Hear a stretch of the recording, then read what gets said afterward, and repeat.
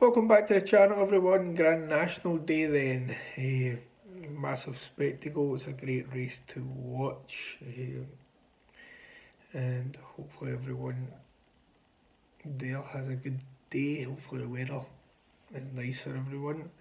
I will fire through, I've got an 80 to 1 mainline double for these one horse runs in the big race of the day then and that as well so uh, one from Thirsk and one in the Grand National there.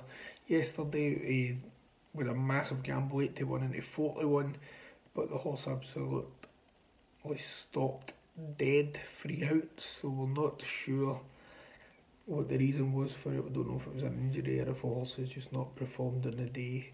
We'll just put it down as a flop just now, but a massive gamble uh, on that one. Our all one lively citizen, 91 short was placed uh, on Sky Bet.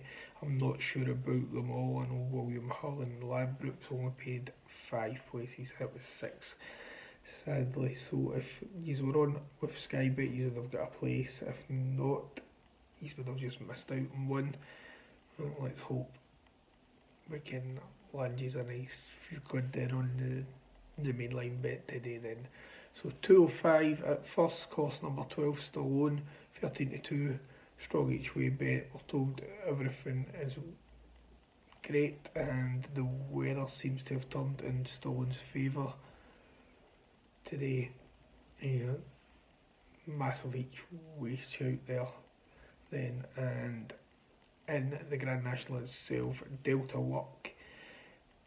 Uh, that's a 5.15 entry, horse number 2, Delta Work, 11 to 1, uh, class act and its prep work obviously went a bit better than they expected it to because they expected Tiger to win at Cheltenham but the weather obviously put Tiger on the back foot and Delta Work stays all day and multiple group one winning horse has got a massive chance with a clear run stays all day long and with a clear run obviously it's a hard hard race to have any level of confidence in, but if it gets a clear round, he, it should be bang there. And I can't see it out of places, and yard are very, very confident that that will be the case too. So that's an 81 mainline double for these in.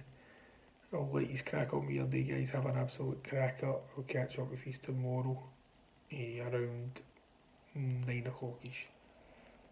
Till then, thanks. Cheers.